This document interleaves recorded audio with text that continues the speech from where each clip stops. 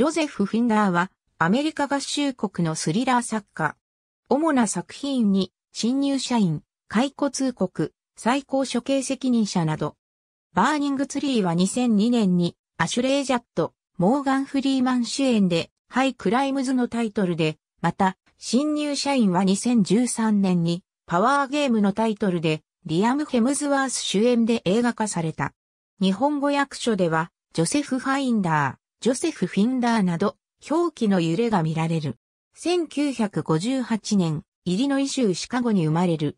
幼少期のほとんどをアフガニスタンとフィリピンで過ごし、その後アメリカへ戻り、ワシントン州ベリンハムとニューヨーク州オールバニで暮らした。イエール大学でロシアを研究し学位を取得したほか、ファイ、ベータ、カッパクラブの会員だった。ハーバード大学のロシア研究センターで修士号を取得し、同校の学部で教鞭を取った。1983年、アーマンド・ハマーとソ連の諜報活動について書いた、クレムリンコネクション、ソ連が愛した、米在怪人たち、を上司。1991年に、KGB とソ連の最高指導者、ミハイル・ゴルバチョフが敵対していたと空想した、処女作、モスコークラブを上梓、1994年に上梓した第二作、至高権力は、ソ連のモグラが CIA 幹部であるとした作品である。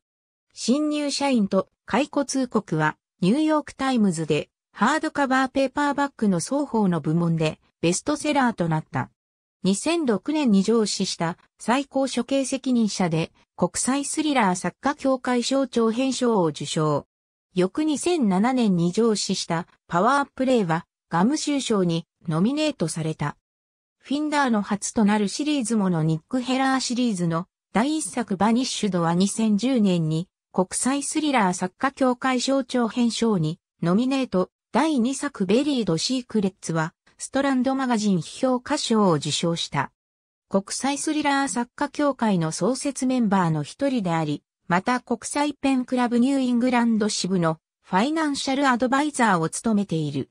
また、元諜報員のための非営利組織 Association of Former Intelligence Officers のメンバーでもある。ニューヨークタイムズやワシントンポストにスパイや国際問題に関する記事を書くこともある。